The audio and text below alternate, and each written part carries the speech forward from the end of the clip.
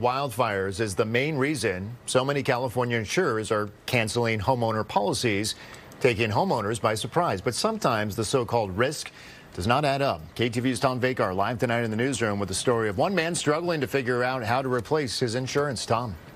Well, think about this one. Homeowners insurance cancellations are becoming all too common, and it's driving the competition to dwindle as well. Joe Pokron says he has never made a claim with Geico, which sold him a bundle of policies, including auto. But Geico farmed his homeowner's policy out to an insurer named Stillwater. I was notified by Stillwater um, that this will not be renewed, and I received a letter from Geico that it will not be renewed as well. The reasons branches overhanging his home and an inability to access his backyard. I was never notified that anybody was stopping by to assess the backyard. He's willing to abate any hazard, even recently having trees encroaching his property cut back. And get this in this neighborhood, the power lines, a key cause of wildfires, are actually buried underground. Nonetheless, he's scrambling to find a new policy if he can.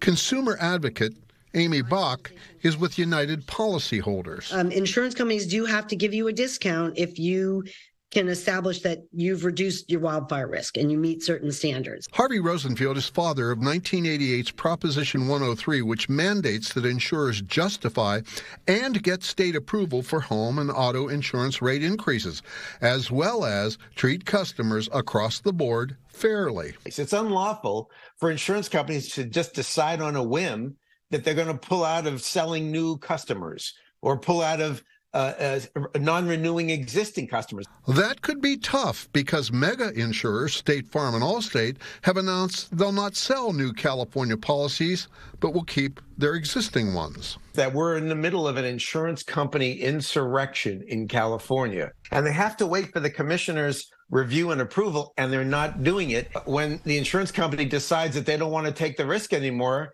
they just they just basically flush the state down the toilet.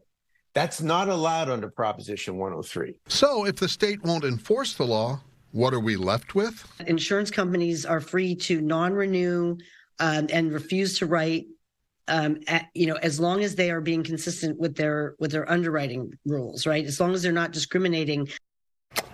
And consider this: we repeatedly, repeatedly tried and could not reach either Geico nor Stillwater, even after leaving messages. Tom Vacar, KTVU, Fox 2 News. All right, Tom.